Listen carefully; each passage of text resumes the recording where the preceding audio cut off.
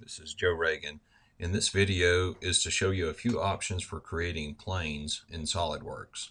So I've created a part here and inside the part you can go to features and reference geometry and add plane. So this will bring up a dialog box that will allow you to constrain the plane you're trying to add. Uh, one option would be to make a plane a certain distance from an existing plane. Okay, so you'll see that plane is fully defined and you could hit check and now plane 3 exists and you could use it. I'll delete that and show you a couple more options. The next one I want to show you is an angled plane. An angled plane requires an edge, so I'll create a quick sketch and we'll use the line in the sketch as an edge.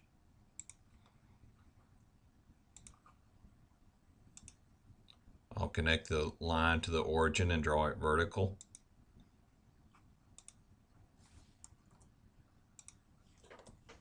Now I want a plane that's angled relative to the front plane and it contains the line that I just drew as well.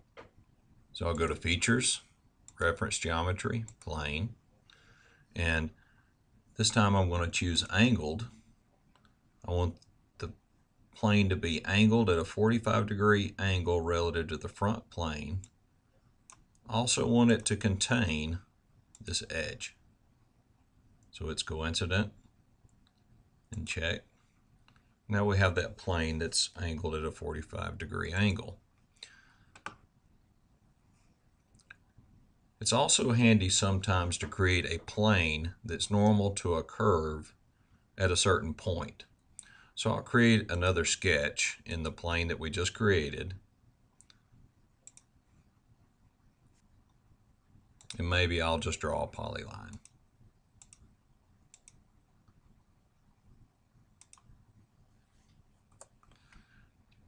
And I might want to create a swept protrusion where this is the path of my polyline and it could be handy to create a plane for the profile that's perpendicular to the path or perpendicular to this curve and containing that endpoint. So let's do that. I'll close out that sketch and go to Features, Reference Geometry. I'm going to create a plane and the first reference is going to be this point and I want the plane to be coincident with that point. I want it to contain that point. And the second reference, I want it to be this curve, and I want the plane to be perpendicular to that curve. So check.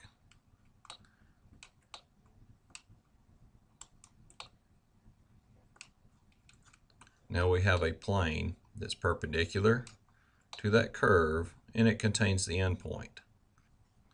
I'll draw the profile in the plane that we created. So I'll go sketch this guy.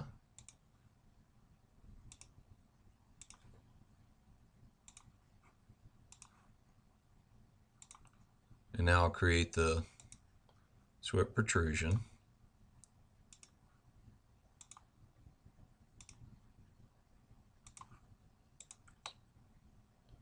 And so anywhere along the path, if you make a cut normal to the path, you should end up with a circular profile.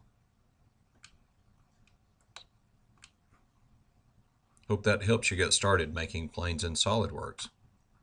Thank you for watching.